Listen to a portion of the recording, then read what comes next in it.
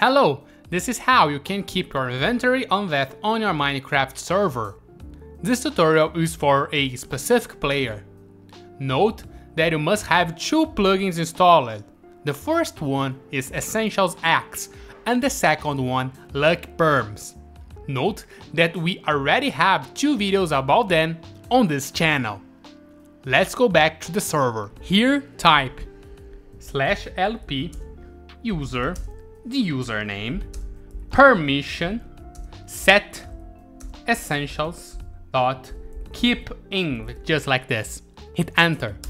The permission was added on that player. Let's test it.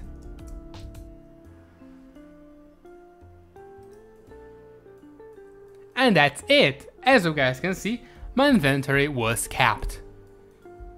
If you need further help, please contact us via live chat. Have a nice day!